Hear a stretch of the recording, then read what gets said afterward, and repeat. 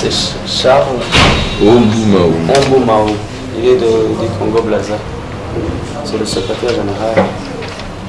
Lui, c'est M. Aloïse, alias Séguéen. Il est le président de la fédération de handball depuis l'an 2013 et il a été reconduit. En troisième, en quatrième, il y a M. Jean-Claude, alias. C'est un technicien, euh, vous le secrétaire général de la fédération. Monsieur Charles, parlez-nous un peu euh, de votre euh, présence ici au Burundi. Bien, merci. Je commencerai par me présenter euh, aux sportifs et amoureux du handball de la République burundaise en général et de nos amis de Bujumbura en particulier qui auront peut-être le privilège, sinon l'avantage de nous rencontrer dans la rue ou ici, là où nous faisons notre point de presse. Je suis donc Charles Omoumaou, de nationalité congolaise, congolais de Brazzaville, secrétaire général de la Confédération africaine de handball, élu depuis décembre 2012 au congrès électif de Ouagadougou. Ma présence ici s'inscrit dans la préparation d'un grand événement, un événement qui a lieu tous les deux ans. C'est la préparation du congrès de travail de la Confédération africaine handball. La fédération burundaise a été choisie par le comité exécutif pour abriter ce grand événement qui va donc permettre aux fédérations membres de regarder, de retoucher euh, tous les documents fondamentaux qui euh, régissent notre organisation, notre institution. Il y a donc les statuts, les règlements généraux et comme euh, vous pouvez vous en rendre compte, ce n'est pas le comité exécutif seul qui a la charge de retoucher ces documents. Toutes les fédérations membres euh, ont justement, à travers ce congrès de travail, l'opportunité de regarder, d'apporter leur contribution à l'amélioration de nos documents qui nous permettront justement de mieux euh, organiser nos, nos spectacles, nos compétitions. Et à travers cela, tout le mouvement des sportifs, à travers les transferts entre nations, les transferts internationaux. Et en marge de tout cela, c'est s'arrimer aux documents fondamentaux de la Fédération internationale de handball, euh, auprès de laquelle, justement, toutes les fédérations sont affiliées. Donc nous ne pouvons pas être en marge de l'évolution des techniques, de l'évolution des documents, les, les actes fondamentaux qui régissent la Fédération internationale de handball. Voici de manière ramassée le but de euh, ma présence, ou alors l'objet de ma présence, ici en terre burundaise, où je suis accompagné par le directeur administratif et financier de notre institution, M. Daniel Abdourama, qui est ici à ma droite. J'aurais aimé poser euh, deux questions. Premièrement, à, à monsieur le secrétaire général, euh, qui était ancien DTN au Burundi, ainsi qu'à monsieur le président. Premièrement, monsieur le secrétaire général, pourquoi il y a le changement des organes de la, FEBA, de, de Depuis quand? Et vous êtes DTN actuellement, le secrétaire général, qu'en pensez-vous?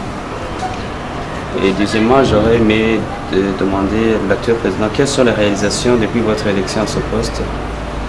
Et y a-t-il des sièges sociaux de la sont, quelle est votre mission? Dans nos murs, ils sont à la poursuite et dans le suivi d'une mission de travail. Pour, ils sont venus évaluer nos capacités d'accueil, ils sont venus évaluer aussi nos compétences au niveau de l'organisation à partir, à partir d'une confiance que la Confédération africaine tout entière a placée à notre confédération pour abriter le prochain congrès de la, Confédération africaine.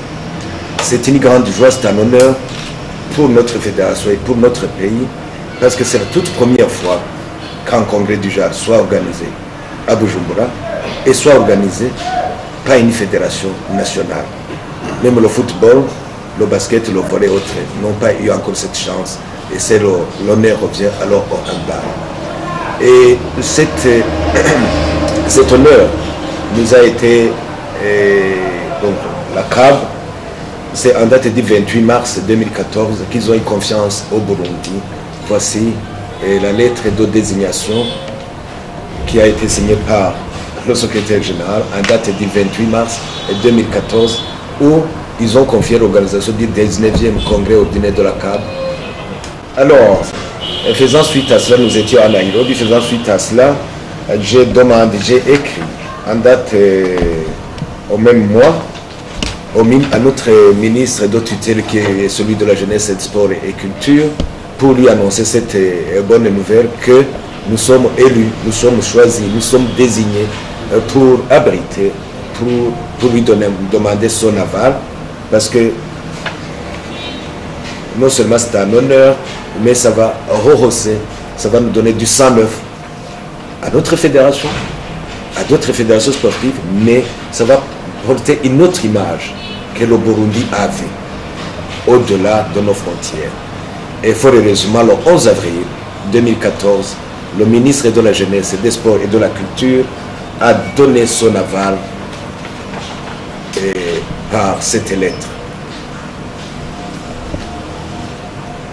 J'ai porté l'écho à la CAB et c'est la raison que nos deux chers hôtes, nos deux grandes personnalités, le secrétaire général et le directeur sont dans nos murs et nous venons, hier nous avons fait une, une étude d'évaluation dans les différents hôtels pour voir la capacité parce qu'il y aura plus de 60 délégués qui vont faire 4 à 5 jours. Il y aura d'abord une, réunion du comité exécutif de la CAP, il y aura une réunion du conseil, il y aura une réunion des présidents des hommes et le congrès. Donc du 18 novembre au 22 novembre 2014, je pense que c'est 4 jours. 4 jours. 5 jours. Et 5 jours. Le congrès, tous les présidents et d'autres invités, on se réunit dans une même salle pour parler il vient de vous le dire, pour parler de l'avenir, pas seulement de la fédération, mais de la confédération africaine sur des bases nouvelles, avec des statuts et des textes nouveaux, actualisés, dans le sens de la prolongement et dans le sens de la bonne poursuite de notre chef discipline, le handball. C'est-à-dire qu'à partir du 22, du 22 novembre, on va parler maintenant Bujumbura, lors du congrès de Bujumbura. Donc, ce sera une date, une, date historique.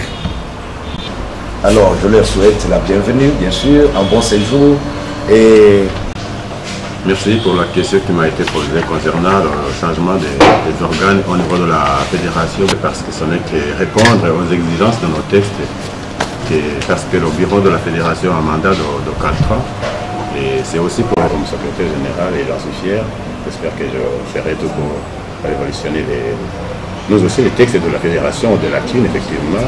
Et dernièrement, c'était samedi passé, l'Assemblée générale a nommé une commission ad hoc pour revoir les textes et peut-être qu'ils seront adoptés, dans les jours à venir.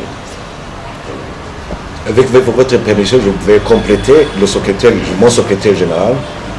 Nous aussi, comme au niveau de la CAP, nous allons révolutionner. Nous, avec mon mandat, oui, de, 1996 jusqu'en 2006, j'étais président de la fédération. Je suis revenu l'année passée, je suis revenu pour donner du sang nouveau. C'est-à-dire on doit absolument et obligatoirement donner une licence à chaque joueur, une assurance sportive à chaque joueur. Et nous avons la mission de décentraliser notre handball, pas en association, mais en région, qui sont ailleurs appelés département ou ligue. C'est notre mission au cours de, cette, de ce mandat. Comme ça, on pourra avoir des statistiques fiables. On pourra maintenant dire que la Fédération burundaise de, de, handball compte autant de joueurs chez les filles, autant de joueurs chez les garçons, autant de joueurs juniors, seniors, etc. etc.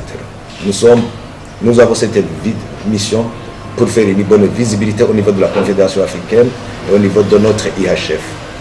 Merci. En 2009, il y a Trophy qui a été organisé ici à Bujumbura. Est-ce que la a-t-elle Non, plutôt la, le Challenge Trophy sera organisé au mois d'août à Kampala.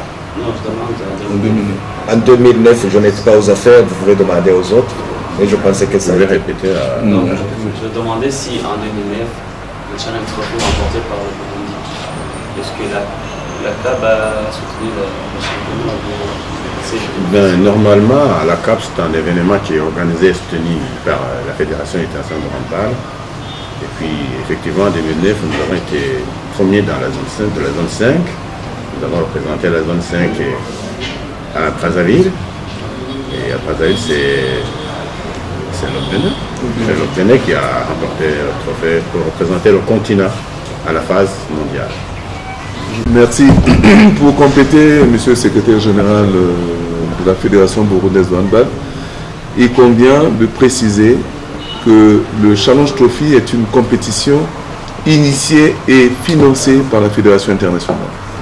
Et la CAB, en tant qu'organisation continentale, se doit d'accompagner justement cette euh, compétition. C'est la raison pour laquelle vous pouvez voir que les arbitres, les officiers, les autres sont ceux de la CAB et non de l'IHF. Voilà, chacun à son niveau apporte un peu du sien. Donc le financement et la conception, c'est la Fédération internationale. La mise en forme et l'application, pour ne pas dire l'organisation, incombe à la Confédération africaine handball. C'est la raison pour laquelle ces compétitions sur le plan continental ont, toujours de la Confédération africaine handball aux côtés des experts qui viennent de la Fédération internationale. C'est une précision importante et qu'il faille donner ici aux téléspectateurs qui nous suivent. Et je voudrais encore ajouter un élément, c'est que la Fédération internationale, dans le souci de vulgariser notre chère discipline, a créé cette compétition parce que vous vous rendez bien compte qu'au niveau des championnats d'Afrique des Nations, il y a comme une élite seule qui se dégage. Et on n'a pas besoin que d'une élite, on a besoin de vulgariser, de euh, faire en sorte que notre discipline soit pratiquée à tous les niveaux et dans tout sur tout le continent. D'où l'importance de cette compétition qui aujourd'hui, qui hier avait commencé avec le continent africain, qui aujourd'hui s'étend maintenant en Amérique latine et euh, je crois en Asie également. Tout simplement parce que l'Afrique a servi de point de départ et c'est tout à l'honneur de la Fédération internationale que nous tenons ici à Stade. Juste une, seule question. Ma question est posée à notre. Euh, la raison pour laquelle vous avez choisi euh, le pour la, la 19e, con- le, le 19e congrès. Euh, pour répondre euh, le plus simplement possible à, votre question, euh, je vous dirai la chose suivante. Les décisions de la Confédération africaine de handball sont prises en comité, c'est-à-dire le comité exécutif regarde toutes les demandes qui lui sont adressées pour abriter l'événement et à partir d'un certain nombre d'éléments qui sont discrétionnaires, attribue la compétition à une fédération. Dans le cas d'espèce, pour répondre directement à votre question, la fédération burundaise compte parmi celles qui sont très actives. C'est C'est ce critère qui a beaucoup plus contribué à l'attribution de cet événement à la fédération burundaise. Quitte par la suite, justement, comme a su le président dans son mot euh, liminaire, à apporter la preuve de sa capacité à assurer justement la couverture. Quand je parle de couverture, je parle de l'hébergement, du transport, en gros tous les éléments qui permettent d'abriter un événement. Et euh, c'est tout le sens de notre visite ici. Donc pour euh, être plus succinct, c'est le dynamisme de la Fédération burundaise de handball a fait que justement la Fédération, la Confédération africaine de handball lui attribue l'organisation de cet événement cette année.